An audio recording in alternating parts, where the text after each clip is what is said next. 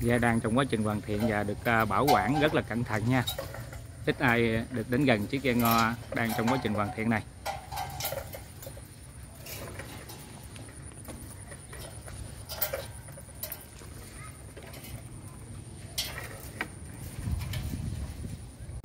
Rồi chào anh em, một lần nữa Quốc Khởi lại trở lại với băng tôn xa Băng tôn xa Trần Đề Đội ghe đã hai hội đua liên tiếp đều lọt vào vòng bán kết. Tức là top 4 Và đều à, dừng lại ở thứ hạng tư Lọt vào top 4 và hạng tư. Đặc biệt là ở hội đua 2022 Thì à, anh em khi mà vào bán kết thì có sự cố trên ghe ngo cho nên à, ở trận bán kết cũng như là trận tranh hạng ba thì anh em đã không thể hiện hết phong độ của mình. Và đây là chiếc ghe mà đã cùng anh em thi đấu vừa qua đặc biệt là tại ốc bốc 2022 khi mà vào bán kết thì à, chiếc ghe này gặp sự cố ở một cái đoạn cong trên ghe, cho nên anh em đã không thể hiện hết sức mạnh của mình, giống như những lần vòng đấu trước đó. Hiện nay thì à, theo kế hoạch thì chiếc ghe này cũng được sửa lại để chuẩn bị cho bốc 2023 tuy nhiên à, điều mà anh em mình chờ đợi nhất, đặc biệt là khán giả vừa rồi đã hỏi thăm rất là nhiều, đó là chiếc ghe ngon mới của băng tôn xa hiện nay như thế nào vì sao mà chiếc ghe ngon mới của băng năm nay thì chúng ta biết là có khá nhiều ghe được đóng mới.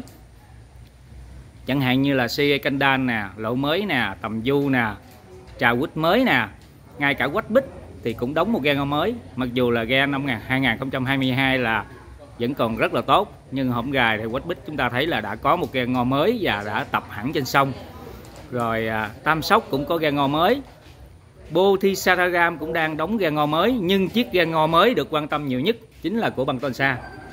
ở đây đây là chiếc ghe ngò mới của Bantonsa đang trong quá trình hoàn thiện. Ra con trai con trai đi ra con. Rồi ha. Nói chung là hổng gài là anh em mình, đặc biệt là khán giả đã hỏi thông rất nhiều về ghe ngò mới của Bantonsa và cũng không có nhiều thông tin về ghe này. Hôm nay thì quốc khởi đã xin phép chủ trì cũng như là ban tổ chức đội ghe để được ghi hình chiếc ghe ngon mới đang trong quá trình hoàn thiện của băng tôn sa. Thì à, sở dĩ chiếc ghe ngon này được quan tâm là anh em mình cũng đã biết ha, cũng do danh vũ đóng. Nhưng mà khác với hầu hết những ghe ngon đang thi đấu và sắp thi đấu, thì đóng bằng cây sao thì ở đây là danh vũ đóng bằng thao lao. Chính vì vậy mà chiếc ghe này rất được chờ đợi sẽ như thế nào khi hạ thủy, khi thi đấu còn bây giờ thì à, chúng ta cùng xem ha. Ở giai đoạn này thì gần như là bộ khung gần như đã hoàn thiện rồi. Đây, chúng ta xem bên trong ha. Có gì khác biệt không anh em? Anh em xem có gì à, khác biệt với à, ghe mà đóng bằng cây sao không? Quốc khởi thì về kỹ thuật ghe, về kỹ thuật đóng ghe thì quốc khởi không rành lắm rồi chỉ ờ, khác biệt như quốc khởi nói từ đầu và anh em mình cũng biết là ghe ngò mới của băng tôn sa đang trong quá trình hoàn thiện để chuẩn bị cho bốc 2023 thì được đóng bằng thao lao. Thay vì từ trước đến nay, hầu hết ghe ngò được đóng bằng cây sao thì ở đây là danh vũ đóng bằng thao lao. Còn ờ, kết cấu như thế nào, việc đóng ra sao thì các chuyên gia có lẽ sẽ biết nhiều hơn. Quốc Khởi thì chỉ ờ, biết về phong trào ghe ngò, biết về các đội ghe thôi còn kỹ thuật bơi kỹ thuật đóng ghe những phối hợp trên ghe kỹ thuật bơi thì, kỹ thuật còi thì Quốc Khởi không rành này. Chúng ta cùng xem ha. Có gì khác biệt không anh em? Các chuyên gia về ghe ngon nhìn coi. Có gì khác biệt so với ghe đóng bằng cây sao hay không? Chúng ta coi từng ốc vít ha. Những cái công được danh vũ hiện nay đang dần hoàn thiện cho ghe ngo thao lao của băng con sa. Rồi bây giờ chúng ta ra ngoài ha. Rồi tiếp tục đi dần về phía phần lái cho anh em mình xem cho rõ ha.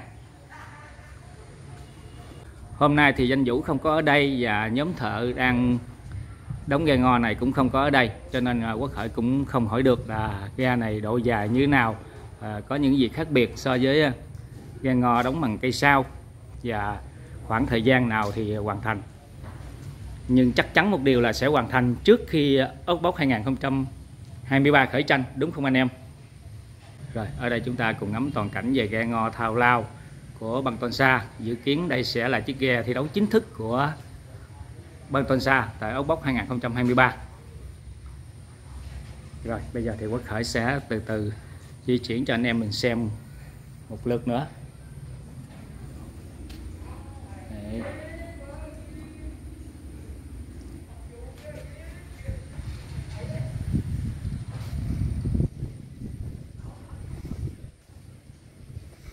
Phía bên trong thì à, hồi nãy quốc khởi mới quay xong ha.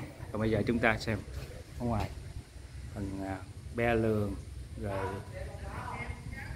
bên ngoài của ghe ngo băng tân xa với điều đặc biệt là đóng bằng thao lao thì anh em những chuyên gia về ghe ngo xem coi có khác biệt gì so với những ghe ngo mà đóng bằng cây sao hay không.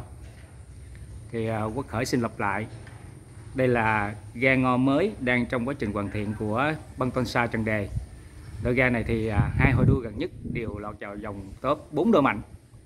Thì để chuẩn bị cho hội đua tại Úc bốc năm nay thì chùa lại đóng tiếp tục ghe mới với một điều đặc biệt như nãy giờ quốc khởi nói và anh em mình cũng đã biết rồi. Đó là đóng bằng dán thao lao, thay vì đóng bằng cây sao như trước nay. Hầu hết những ghe ngo đang hiện hữu. Và người đóng cũng là danh vũ. Rồi một lần nữa chúng ta vào bên trong xem nha.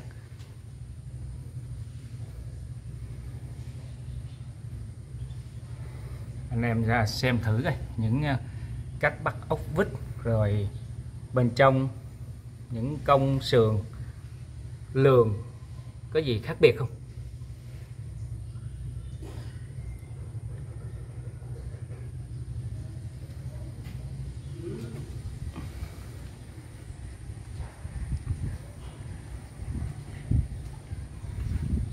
Rồi chúng ta đi dần về phía phần mũi ha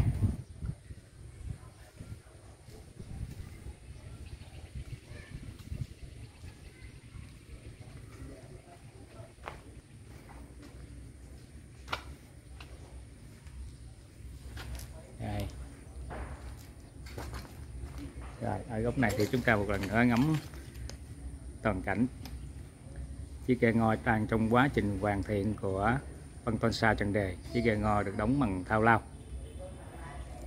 Hiện nay thì dáng dốc đã hình thành ha chỉ còn những công đoạn cuối cùng nữa thôi. Bào gọt lại chét chai sau đó là lên qua dân cân chỉnh phương tiện cần câu. À, có thể bước vào à, tranh tài.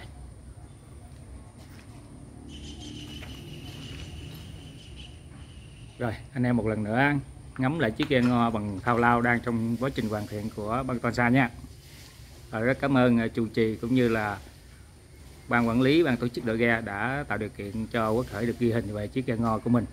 À, và chúc danh vũ cũng như là anh em băng toàn xa với chiếc ghe ngo mới này sẽ tập luyện tốt và thi đấu tốt tại ấu bốc 2023 rồi cảm ơn anh em đã theo dõi.